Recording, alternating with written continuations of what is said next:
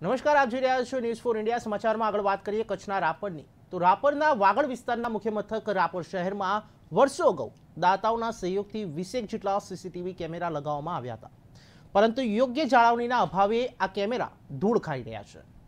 રાપર નગરપાલિકા દ્વારા આગામી દિવસોમાં પંદરમાં નાણાં પંચની ગ્રાન્ટમાંથી અંદાજે બત્રીસ લાખના ખર્ચે ત્રેસઠ જેટલા સીસીટીવી કેમેરા લગાવવા માટે ગતિવિધિ હાથ ધરવામાં આવી છે.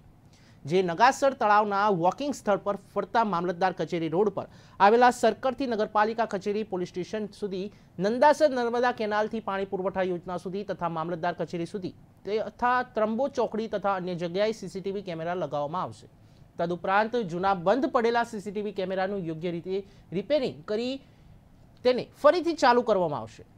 આ માટે રાપર પીઆઈ વિકે ગઢવી, નગરપાલિકાના ચીફ ઓફિસર નવગણભાઈ કડ, દિનેશભાઈ સોલંકી, વિનુભાઈ થાનકી, મહેશ સુથાર વગેરે વચ્ચે બેઠક યોજાઈ હતી, જેમાં વિવિધ સૂચનો કરવામાં આવ્યા.